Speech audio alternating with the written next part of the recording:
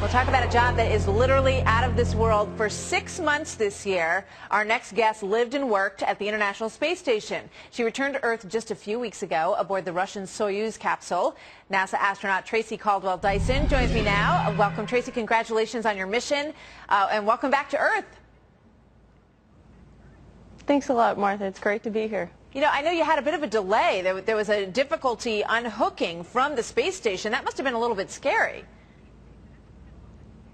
Yeah, actually, it was kind of endearing that the station didn't want to let go of us. We didn't want to let go of it. So, so tell me about you know we all uh, watched with sort of different you know, reaction to the fact that, that the shuttle program is no longer, uh, and now we're hitching a ride on the Soyuz uh, with our Russian astronaut friends. Tell me what, what was that like?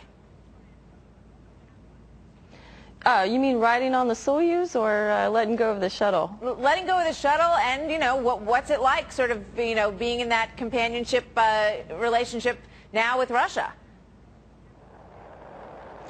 Well, letting go of the shuttle is bittersweet. We, uh, you know, it's a it's an amazing vehicle, and it has served us so well. It's a it's a really huge part of our space program and all of our success. So it's it's hard to let go of something so fantastic, but at the same time we all know that uh, in order to get to the next step, to go beyond low Earth orbit, that uh, we need to uh, move on and uh, let the uh, success of the shuttle mission uh, retire and, and learn from it.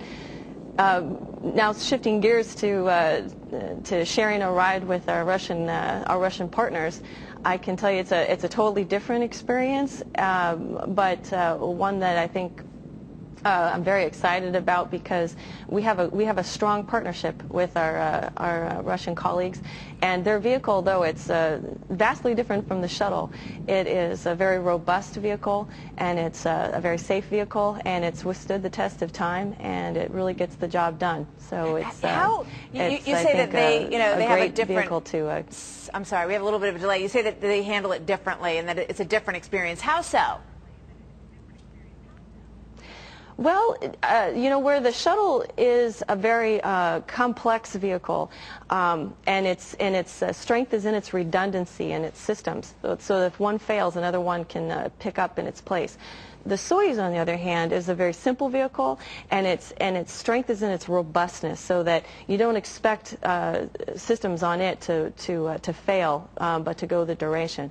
And so the, they're, they're, the engineering that went into these two vehicles is vastly different from that standpoint. Mm -hmm. Also, the the shuttle is um, a bit larger than the the Soyuz, and so right. you're you're in a bit of a, a cozy environment gotcha. when you're in the Soyuz, and uh, nothing wrong with that. It's just very different. And uh, the preparation that you take, um, at least from a, a, NASA astronaut point of view of, of, launching in the Soyuz versus the shuttle is that you leave your home uh, well, well in advance of your mission. And so for me personally, um, having to uh, to leave the country eight months before, I mean, right. two months before I started my mission, and then uh, all of the steps I took to uh, to launch in that vehicle uh, right. were away from uh, family and friends, and all that well, was I'm sure as, they're very glad to have you back, me Tracy. as when I launched on the shuttle. And we are grateful to you. You're a great inspiration for the young people of our country to study science and technology. and congratulations, Tracy Caldwell Dyson. Thanks so much for being with us today.